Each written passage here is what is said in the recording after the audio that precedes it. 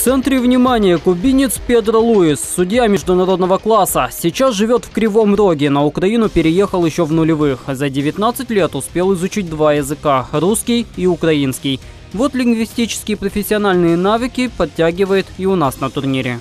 Откуда научили тут? Меня учили дети.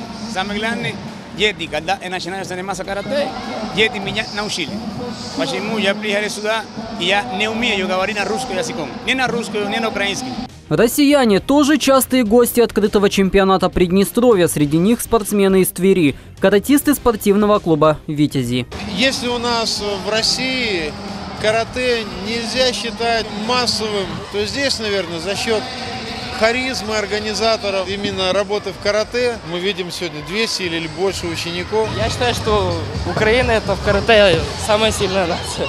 Такого мнения придерживается одессит Станислав Дзензелюк, лидер украинской команды. Каратист с Южной Пальмиры подтверждает свои слова тремя золотыми медалями. На эти соревнования приезжал тоже несколько раз, и здесь тоже был чемпионом.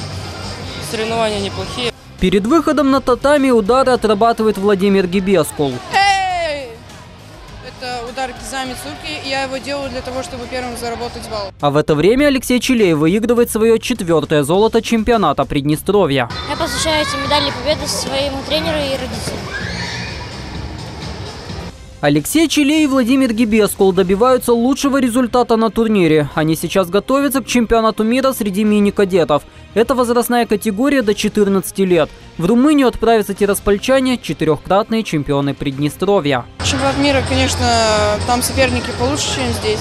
И нужно здесь отрабатывать технику, применять ее в бою, чтобы потом выйти и показать, кто ты есть. перед чемпионатом мира, то есть проверить последние силы, подготовиться, где-то доработать над ошибками, э, проверить спортсменов. На чемпионат мира спортсмены поедут через неделю, а пока свободное время и фото на память, например, с главным рефери турнира Педро Луисом из Кубы.